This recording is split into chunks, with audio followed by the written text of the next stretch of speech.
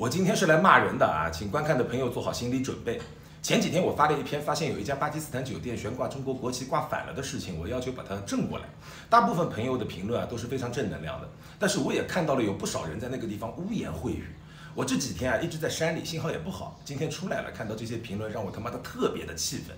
我今天想说啊，一个人爱自己的国家，维护自己国家国旗的尊严，你要来喷，我认为无论你是哪个国家的人，你一定不是什么好人，你也不会爱你自己的国家。祖国就像每个人的母亲，每个人的母亲啊，或多或少都会有点缺点。就像我妈就比较唠叨，但是她并不妨碍我爱我的母亲啊。你要是只会放大母亲的缺点，拼命掩盖母亲的优点，我觉得你他妈连个人都算不上。不爱自己的祖国就是不忠，不爱自己的母亲就是不孝。如果你说你爱你的祖国，你爱你的母亲，但是不允许别人爱自己的祖国和母亲，那你他妈的就是不仁不义，一个不忠不孝、不仁不义的家伙，你他妈有什么资格在我频道下面来放你的紫花皮？还说什么肖恩我要取关你？赶紧他妈的趁早啊！我粉丝里有你，我都觉得恶心。你不取关我，我他妈的也要把你拉黑。你还真把自己当回事儿了，取关还要来汇报一下，搞得好像我们会在乎你这种垃圾人一样。你这种负能量满满的人，取关我一个，我相信会有一百个正能量的人来关注我。我怕你个大头鬼啊！我肖恩从来没有在视频里要求大家来评论啊、关注啊、转发我的视频，我觉得没必要。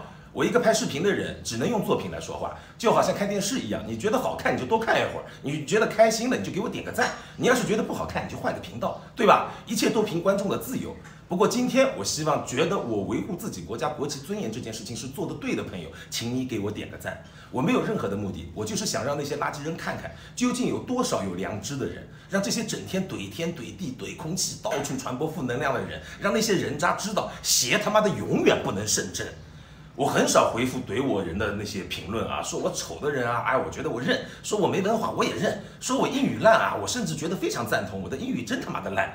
哎，我这么烂的英语我都愿意去指正，哎，犹如我国家的事情。我告诉你，今天我就算是个哑巴，我他妈的连比划带分根的，我也得把这个事情跟他说明白了。侮辱我可以，侮辱我的国家就是不行。你英语好，但是你坏了的话，哎，你他妈的连做人的资格都没有，还说什么美国人拿他的国旗做短裤、做衣服、做比基尼，他们多自由？我告诉你，每个国家文化不同，他们认为把国旗穿在身上也是一种爱他们国家的表现。但是你让他们倒挂国旗试试，别把没文化当武器来攻击我们的国家，我们不吃你这一套。还谈自由？我们维护我们自己国家的尊严，我爱护象征我们中国人的国旗，你还在那里污言秽语，你他妈那叫自由啊？你那个叫你能自由，别人不能自由。我告诉你啥叫自由？自由就是你想吃屎，我们不拦着你，我们自己爱吃啥吃啥，你也别管，那叫自由。你明白了吗？